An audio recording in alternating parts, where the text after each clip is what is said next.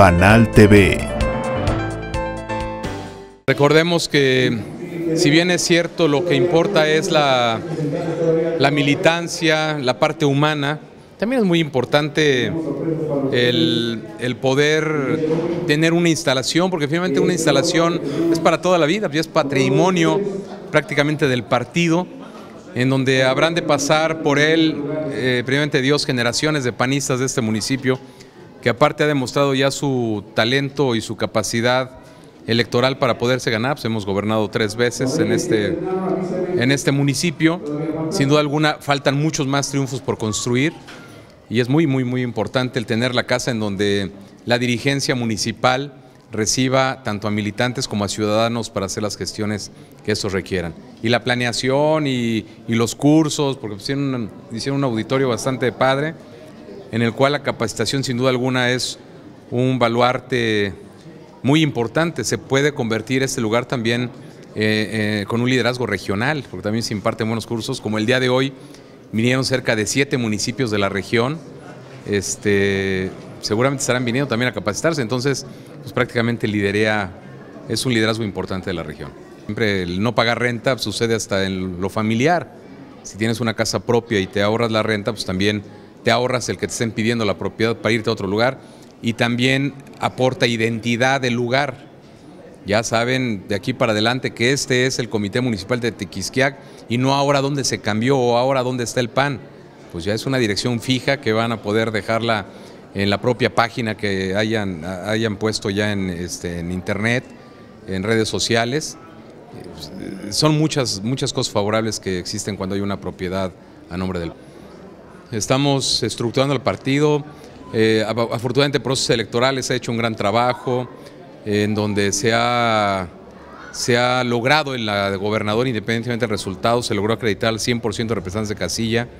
Nos reconoció el INE el 86%, que nunca, nunca en la historia del partido se había logrado.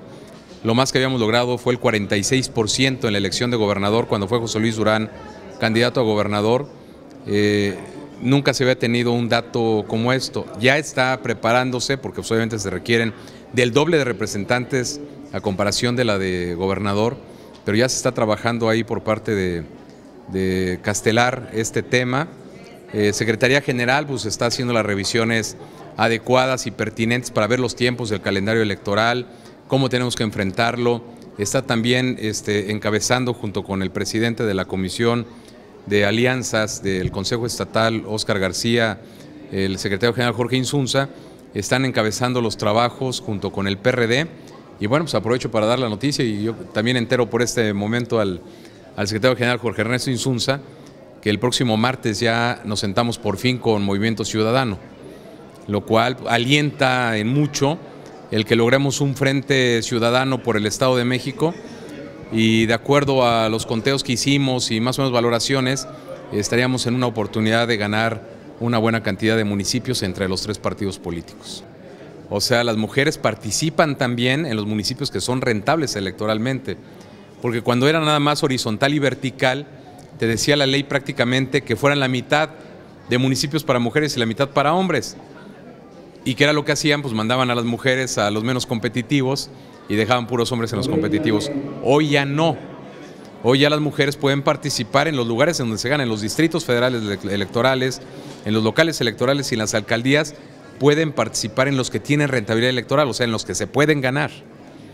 Este, es un gran reto, sin duda alguna, es un gran reto el reclutamiento también de mujeres para que puedan participar. Eh, hay, hay mucha ausencia de participación de mujeres en algunos lugares. La mayor parte de las personas que se han venido acercando son hombres que quieren ser candidatos y les he advertido claramente, como lo hago desde este medio, eh, preparen en todos los municipios una mujer porque no sabemos qué va a tocar. Entonces es lo que toque, no lo que definamos en el estatal. De acuerdo a la rentabilidad electoral, que es una fórmula precisa y exacta que arroja la ley, que es un algoritmo, determina qué toca en cada municipio. Claro, si hay competencia interna que que haya eh, elecciones para elegir a los candidatos, porque recordemos también que se hace el Frente Ciudadano, pues obviamente los procesos electorales internos los suple el convenio de coalición, entonces no hay elecciones internas. Entonces ya son negociaciones con los otros partidos políticos y se tienen que tomar definiciones de quién, cuándo y dónde, pero eh, lo que no es negociable es lo que le toque a cada municipio, si es hombre o es mujer, o los distritos, si es hombre o es mujer. Panal TV